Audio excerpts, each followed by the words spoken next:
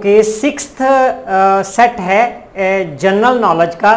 जल्दी से करेंगे क्योंकि एग्ज़ाम आपके नज़दीक हैं। शायद एक ही भाषा में मैं पढ़ूँ।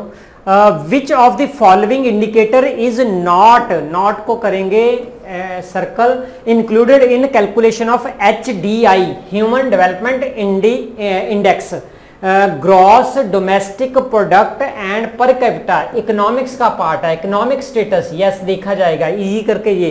लिटरेसी रेट एजुकेशन का पार्ट है. ई e, यस ये भी दिया देखा जाता है। किसी देश का डेवलपमेंट कितनी हुई है और उसको दूसरे देश की डेवलपमेंट से कंपेयर करना है तो आ, ये कैलकुलेट किया जाता है ह्यूमन डेवलपमेंट इंडेक्स और जब डेवलपमेंट इंडेक्स कैलकुलेट किया जाता है उसमें कौन कौन से पार्ट कैलकुलेट किए जाते हैं? इकोनॉमिक्स का है एजुकेशन का है तीसरा है life expectancy okay access to clean water ये पार्ट नहीं है नैरो है इसको रिजेक्ट ऐसे ही कर सकते हैं।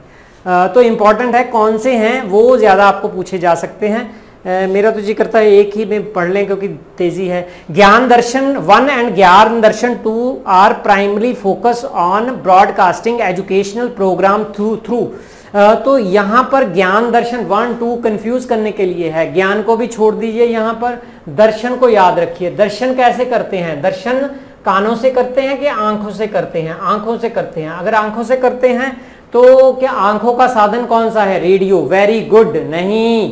टेलीविज़न नहीं। यस यस टेलीविज़न है ना? खुद सोचिए, इसलिए कंफ्यूज कर रहा हूँ। तो टेलीविज़न जहाँ दर्शन आता है, वहाँ टेलीविज़न आ गया।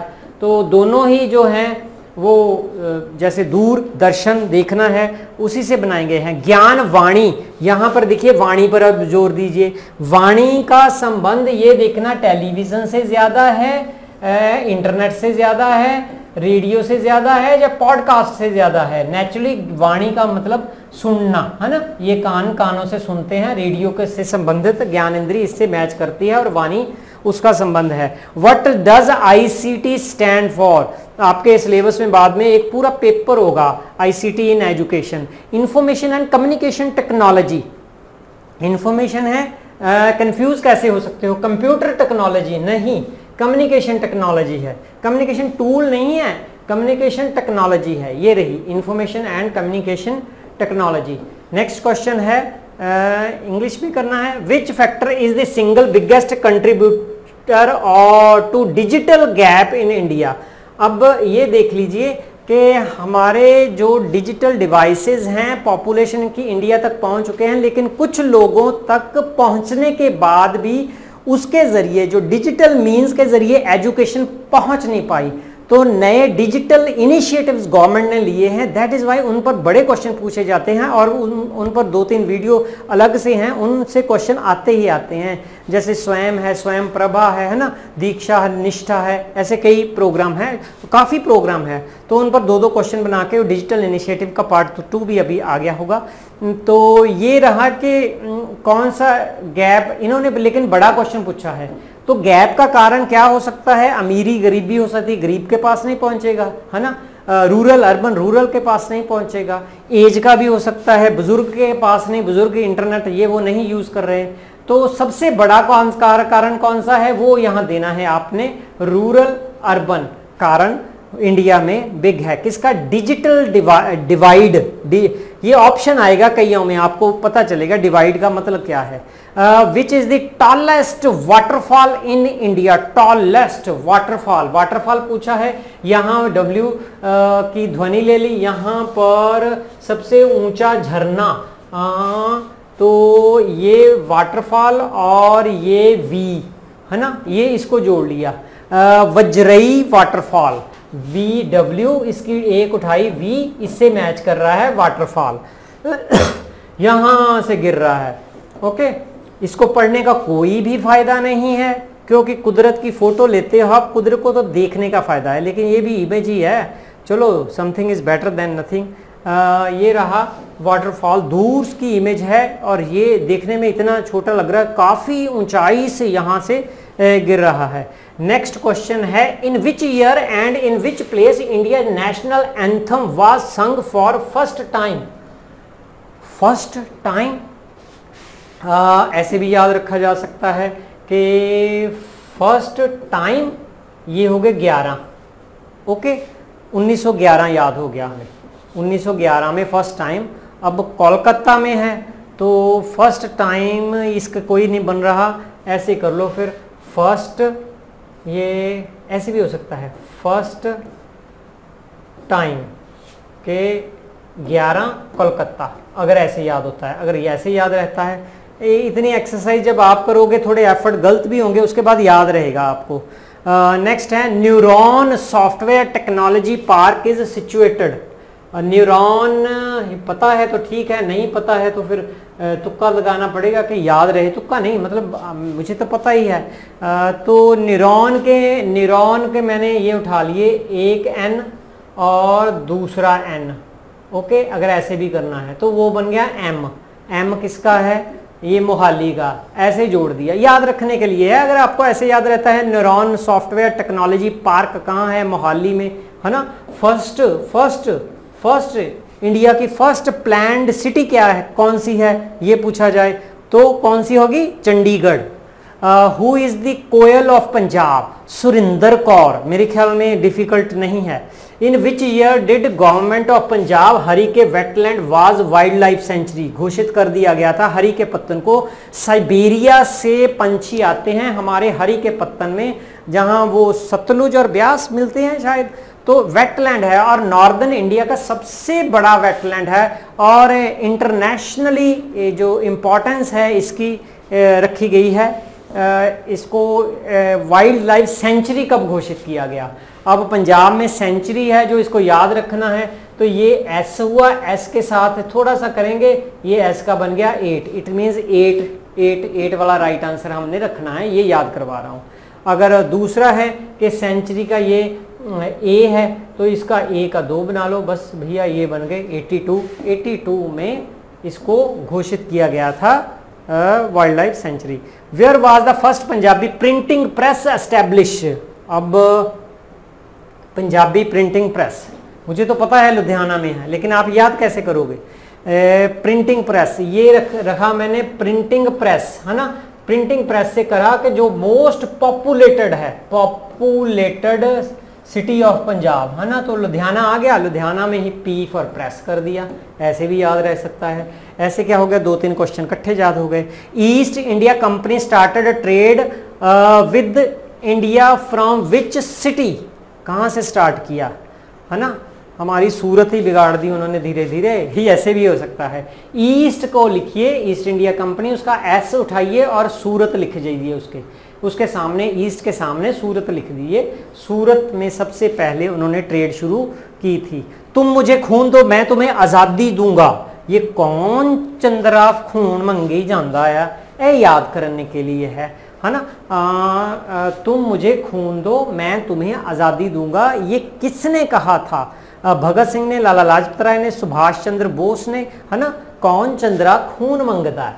ए कौन चंद्रा खून मंगता है? ऐसे याद हो सकता है। आ, ये कौन बॉस है जो हाँ ए यहाँ पर और कोई है? ए, नहीं मिल रही। आ, रहने दे। आ, दूँगा।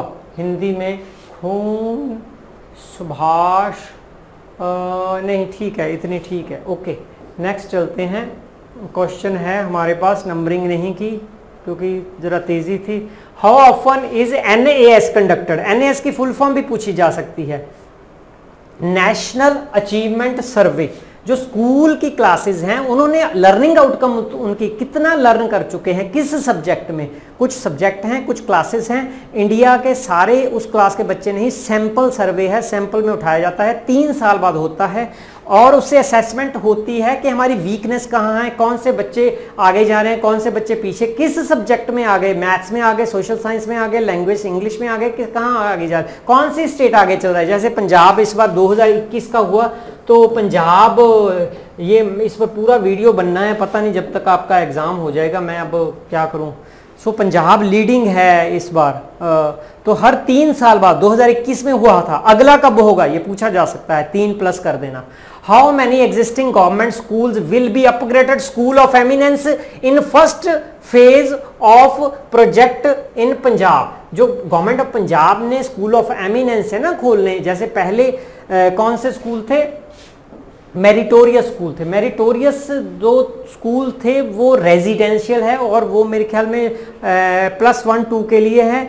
और जो ये होंगे नॉन रेजिडेंशियल हो गए इनकी जो है इसमें कॉम्प्रीहेंसिव जो है ऑलराउंडर डेवलपमेंट की बातें ऐसे की जाती हैं टीचर्स अच्छे सेलेक्ट करके ऐसे कुछ बातें की जा रही है। इस पर भी अलग से वीडियो लेकिन टाइम नहीं लगेगा। तो एमिनेंस में पहले पड़ाव में ये दिल्ली के आम आदमी पार्टी है, वहाँ भी, यहाँ भी तो आम आदमी पार्टी ने वहाँ जो school of specialized eminence Delhi में है, शायद उसके बेस पर ये स्कीम पंजाब में लागू की है। First educational initiative of Aam Aadmi party, school of eminence start करने। तो जितनी कितने हैं हमारे राज्यसभा के मेंबर कितने होते हैं? एम राज्यसभा के सेवन और लोकसभा के तेरह। टोटल हो गए ट्वेंटी। और जब पंजाब की इलेक्शन होती है तो कितनी सीट्स के लिए वोट है ना? जो लड़े जाते हैं जो है विधानसभा के। ए, आगे चले। Next full form of RTE act पूछा जा सकता है। बहुत ज़्यादा इंपॉर्टेंट आरटीई एक्ट क्योंकि एजुकेशन का बेस है। पहली बार जो आरटीई एक्ट पर वीडियो शायद है हम 135वीं कंट्री है जिसने आरटी को बना दिया है। तो अब इसको याद करना है कैसे करेंगे ये प्रॉब्लम है। ये देखिए इसका नाम बहुत लंबा है। मैंने कैसे याद अगर टेक्निकली रखना है। ए, पहले एक अंग है जिसमें दो फ्रेज आएँगे राइट टू चिल्ड्रन दूसरा एक फ्रेज आएगा टी को वैसे ही एसोसिएट किया। Right to children free and compulsory E के लिए दो फ्रेज या दो शब्द सॉरी फ्रेज नहीं शब्द। Education act right of children to free and compulsory education act it mean छह मेन टर्म जहाँ आएँगी, वो वाला राइट right होगा। ये याद करने का सिर्फ़ तरीका रखा है। Right of children to free and compulsory education act is a right option as per R T E act private and specified category of schools R T act के अनुसार निजी और निर्देशीय श्रेणी के स्कूल कक्षा वन में कमज़ोर वर्ग और वंचित समूह में डैश परसेंटेज बच्चों को प्रवेश देंगे। सिंपल है कि प्राइवेट स्कूल्स जहाँ जो स्पे कुछ विशेष स्कूल हैं, उनमें अमीर लोगों के बच्चे पढ़ते हैं। तो आरटी एक्ट ने कहा है, वहाँ भी वीकर सेक्शन के बच्चे पढ़ सकते हैं तो मिनिमम कितनी सीट्स, मिनिमम कितनी सीट्स उनके लिए रिज़र्व होगी? तो आंसर वेरी इंपॉर्टेंट क्वेश्चन है 25 परसेंट। नेक्स्ट है full form of C C E यार ये नहीं भूलना ये बहुत ज़्यादा आपकी B Ed D El Ed जो भी आप कर रहे हो उसमें आएगा। एजुकेशन uh, में यू जी सी नेट में। uh, uh, ये इवेल्युएशन का पार्ट है सबसे पहले। इवेल्युएशन ई e से इवेल्युएशन ओके तो इवेल्युएशन पहले नैरो थी और कभी कभी होती थी मतलब लास्ट टर्म में होती थी सबमेटिव अब कंटिन्यूस ये हो गया कंटिन्यूस ये हो गया कॉम्प्रीहेंसिव ऐसे। है ना? रोज होगी और कॉम्प्रीहेंसिव होगी। ऐसे करके भी याद कर सकते हैं।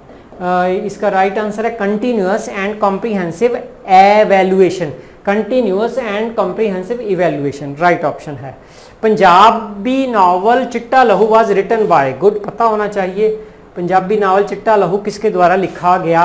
अमृता प्रीतम ने नावल लिखे थे, कविताएँ। शिव कुमार बटाली, कविताएँ। गुरबख्श सिंह प्रीत लड़ी है ना? इन्होंने वार्तक लिखी नानक सिंह ने नावल लिखे थे। सो so, नानक सिंह की ये रचना है। Who is known as father of modern Punjabi literature very much important modern Punjabi literature कौन था? दो तरह के एक ट्रेडिशनल पंजाबी लिटरेचर जैसे जो भी गुरु ग्रंथ श्री गुरु ग्रंथ साहिब में है के शब्द हैं श्लोक हैं अलौणियाँ हैं है ना? तो ये और कौन से हैं? हमारे वीर काव है किस्सा काव है जो है ये जंगनामा है है ना? ये ट्रेडिशनल लिटरेचर है हमारा उसकी फॉर्म्स हैं। मॉडर्न जो ईस्ट से वह वेस्ट से आया है हमारे ईस्ट में वो इंग्लिश लिटरेचर में था। मॉडर्न पोएम छोटी थी है ना? आ, तो वुड्सवर्थ कीट ये ऐसी पोएम तो भाई वीर सिंह ने क्या किया कि पहली बार कोशिश की कि वो रूप वो जो वहाँ प्रचलित हैं उनको पंजाबी लिटरेचर में लाया जाए इसलिए उन्होंने पहली कविता पहला नावल पहला पहला लिखने की कोशिश की दैट इज़ वाई उनको फादर कहा जाता है लिटरेचर का लेकिन उसके उनको पोए मास्टरी किन में थी जो स्किल्स सबसे ज़्यादा किस में थी वो कविता में थी है ना कविता में उन्होंने गुरबानी को को की ਇੰਟਰਪ੍ਰੀਟੇਸ਼ਨ ਉਹਨੂੰ ਗੁਰਬਾਣੀ ਦੀ ਕੁੰਜੀ ਵੀ ਸ਼ਾਇਦ ਇਹਨਾਂ ਨੂੰ ਜਿਹਦਾ ਭਾਈ ਗੁਰਦਾਸ ਜੀ ਨੂੰ ਕਿਹਾ ਜਾਂਦਾ ਸੀ ਸ਼ਾਇਦ ਮੈਨੂੰ ਪੂਰਾ ਨਹੀਂ ਹੈ ਯਾਦ ਸੋ ਗੁਰਬਾਣੀ ਦੀ ਰੀਇੰਟਰਪ੍ਰੀਟੇਸ਼ਨ ਕੀਤੀ ਸੀ ਜਿਹਦਾ ਭਾਈ ਗੁਰਦਾਸ ਜੀ ਨੇ ਈਜ਼ੀ ਕਰਕੇ ਗੁਰੂ ਗ੍ਰੰਥ ਸਾਹਿਬ ਜੀ ਦੀ ਬਾਣੀ ਨੂੰ ਈਜ਼ੀ ਕਰਕੇ ਦੱਸਣ ਦੀ ਕੋਸ਼ਿਸ਼ ਕੀਤੀ ਸੀ ਇਸੇ ਤਰ੍ਹਾਂ ਭਾਈ ਵੀਰ ਸਿੰਘ ਨੇ ਅੱਜ ਦੇ ਯੁੱਗ ਵਿੱਚ ਉਸ ਯੁੱਗ ਵਿੱਚ गुरबाणी ਨੂੰ ਈਜ਼ੀ ਕਰਕੇ ਦੱਸਣ ਦੀ ਕੋਸ਼ਿਸ਼ ਕੀਤੀ ਸੀ ਵਾਪਸ हिंदी में जाना पड़ेगा which movement is known as Namdhari mission Kuka mission आपने वो देखे होंगे वाइट जो कपड़े और उन्होंने तोपों के साथ उनको उड़ा दिया गया था है ना? तो वेरी इसको याद कैसे रखेंगे? कुछ याद रखने का? कुका नाम कितना? कुका नाम कितना अमीर है कुछ ऐसे है ना? महान है। इन्होंने बड़ी कुर्बानियाँ दी ये संघर्ष में। आ, आगे चलिए। Where is the Sikh heritage complex is developed ये तो पता होना चाहिए मेरे ख्याल में रोपड़ में, अमृतसर में, मानसा में Anandpur Sahib. Right answer is Anandpur Sahib. Who is the first Punjabi novelist to get Jnanpith award अब ज्ञानपीठ अवार्ड यहाँ पर कहाँ चला गया? ये ज्ञानपीठ ज्ञान यहाँ पर जी से लिखा है जानपीठ जनन पीठ लिख दिया ना। ये ज्ञानपीठ ऐसे लिखिए आप। आप याद करने के लिए लिखना है। क्यों याद रखना है? क्योंकि जी से ही उनका नाम है जिन्हें मिला, है ना? गुरु दयाल जी फॉर ज्ञान, गुरु, दयाल। जा गुरु जी को ज्ञान में गुरु जी ने ज्ञान दिया। गुरु जी ने ज्ञानपीठ, गुरु दयाल, गुरु की दया से ज्ञानपीठ मिला। कुछ ऐसे याद कर सकते हैं। ये गुरदयाल दुग्गल है, गुरदयाल सिंह है, दुग्गल नहीं है। When the use of Punjabi was made compulsory Punjab में पंजाबी कंपल्सरी कब की गई? देखिए एक नवंबर दो हज़ार छियासठ को 66 को पंजाब मॉडर्न पंजाब बना डिवाइड हुआ, है ना? तो उससे चंडीगढ़ यूनियन टेरिटरी तभी बना। तो लैंग्वेज ऑफिशियल तब हो गई थी, लेकिन कंपलसरी कब हुई? क्वेश्चन ये है। 66 इसलिए ऑप्शन नहीं है। तो ये 92 में हुई थी। ये 92 याद रखने का अगर तरीका कुछ चाहिए कि पंजाबी वाज मेड कंपलसरी कैसे याद रख रह, रहेगा? तो कोई नहीं दिखाई देता। पंजाबी 90 कंपलसरी। नहीं बन रहा कुछ है ना? आ, सिर्फ़ इतना रखना है ऐसे लिखो कि 92 में उसके नज़दीक अपना कोई दोस्त कोई मम्मी पापा का बर्थडे है तब पंजाबी हुई थी ऐसे जोड़ लीजिए कुछ। इन विच ईयर द को कोनेरू हम्पी हम्पी चेस की मास्टर थी। ये कितने आंसर है? चेस का इसका पूछा जाता Koneru Humpy win the world rapid chess championship. तो 2020 इसका राइट आंसर है, लेकिन कोनेरू का ये जोड़ लीजिए बीस इसके साथ, ये ऐसे भी हो सकता है। जहाँ कोनेरू को हिंदी अगर ऐसे है याद कोनेरू ये हो गया दो, और इसके पीछे ऐसे है बीस। 2020 तो 2000 तो याद रहेगा 1920 में तो मिलेगा नहीं, है ना? 20 ही याद रखिए कोनेरू के वो से बिल्कुल है कि 2020 में उनको पंजाबी डिक्लेयर अच्छा ये वो बात है। How many total medals did Maharashtra win in कौन क्या है ए, हाँ Khelo India youth games. Full form भी पूछी जा सकती है इसलिए फुल फॉर्म बोल रहा हूँ। तो ये 161 है। आ, इसको महाराष्ट्र से जोड़ना है कि महाराष्ट्र से महा नहीं, याद ऐसे करने पड़ेंगे। ये तो ना? नेक्स्ट है नेचुरली सबसे ज़्यादा मिले होंगे इसलिए क्वेश्चन बनाया है तो वो भी आंसर आ सकता है कि इनमें से कौन सा हॉकी का सर्वोच्च शासी निक्षाशी है? पता नहीं क्या है। Which among of these is the highest governing body of hockey कौन सी है अभी? पता नहीं, मुझे पता होता तो मैं यहाँ होता, मैं हॉकी में होता। अच्छा international hockey federation world hockey federation federation of international hockey international hockey association यार बड़ा कन्फ्यूजिंग है ये तो है ना? फेडरेशन हॉकी तो आएगा ही। हॉकी को छोड़ दीजिए हॉकी हॉकी है तो फेडरेशन वो भी आएगा। आ, सो ये ठीक है। ये वाला फेडरेशन पक्का आएगा और इंटरनेशनल आएगा वर्ल्ड नहीं आएगा। इसको ले लीजिए आप राइट आंसर में। ठीक है? नेक्स्ट है which countries have seen the popularity of Punjabi as minority language due to migration हैं ये क्या हो गया? इंडिया पाकिस्तान माइग्रेशन इंडिया से होगा यहाँ पर? माइग्रेशन जहाँ से गए हैं तो ये नहीं आएगा, है ना? पाकिस्तान ये ऑप्शन कर दो कनेडा यूके ऑस्ट्रेलिया हाँ। कनेडा में अपने यूके में कितने लोग हैं? ऑस्ट्रेलिया में अब जा रहे हैं। अमेरिका, इसको चुन लीजिए। चाइना में नाना, जापान में यार, क्या करते हो? कोरिया में अबे चिंग ping Brazil, no. Mexico, no. Clear है मेरे ख्याल में। आप लोग के आइल्स कर रहे होंगे? मैं आइल्स कर नहीं, मैं आइलट्स कर रहा हूँ। वट इज़ दी यार, ये ना क्वेश्चन गलत बन गया। पर इसमें ये लर्न कर लीजिए कि जो पंजाबी है स्पोकन लैंग्वेज के बेस में उसकी पोजीशन कितनी है? ग्यारहवीं पोजीशन है। ये याद रखना पंजाबी की ग्यारहवीं पोजीशन है ठीक? तो क्वेश्चन ये बना नहीं था मैंने निकाला नहीं लेकिन मैंने कहा ये इन्फॉर्मेशन मिल जाती है। When was the fifty six seventh Jnanpith award was presented कब हुआ? Uh, ये नॉर्मली कहाँ हुआ? किसने लिया? ये पूछा जाता है। कब हुआ? ये भी पूछा जा सकता है। तो कब कहाँ हुआ होगा? तो ये दूर वाला थोड़ी पूछेंगे नज़दीक वाला ही पूछेंगे ना? तो नज़दीक वाला है 2023 अब इसको मई ये पूछा जाएगा, सताई मई को ऐसे पता नहीं है। लेकिन ये अभी है रीसेंट है, बहुत रीसेंट करंट इवेंट्स में ये बहुत ज़्यादा इंपॉर्टेंट बन रहा है है ना? मई ट्वेंटी सेवन्थ दो हज़ार तेईस, है ना? तो ऐसे कर सकते हैं कि ये बन गया आपका पाँच सात, है ना? यहाँ पर दो तीन मतलब इसके आधे आधे थोड़े करके ऐसे याद रख लीजिए कि ये वैसे कम इंपॉर्टेंट है, मेरे ख्याल में ऐसा क्वेश्चन कम आएगा। अच्छा the most common deficiency in Indian population regarding vitamin is कौन सी है? आप में भी। आप कहते हो, मेरे गुड्डे, देखो, मेरे लग या फिर मेरे को, मेरा, है ना, सुन, मेरा हाथ सुन्न हो जाता है। है ना? मुझे थोड़े चक्कर आते हैं, मुझे थोड़ा थोड़ा याद भूल रहा है। मेरा तुरने को जी नहीं चाहता, सुस्ती पड़ी रहती है, जी करता है, लेट जाऊँ। ओ भैया, आपके दो विटामिन सबसे ज़्यादा कम हैं। 47 परसेंट इंडियन 50 परसेंट लगाइए, उसका बी ट्वेल्व कम है और इससे ज़्यादा 50 परसेंट से ज़्यादा जो है विटामिन डी कम है 70 परसेंट तक भी जाता है ये। तो डी विटामिन सबसे ज़्यादा इंडिया में कम पाया जाता है, क्योंकि लोग की, लोग जो हैं, वो अब धूप में नहीं निकलते। पहले धूप में काम करते थे तो डी विटामिन जो कहाँ से, धूप से? ये भी एक क्वेश्चन है, मिल रहा है। तो इतने काफ़ी हैं नेक्स्ट पार्ट में मिलते हैं। Thank you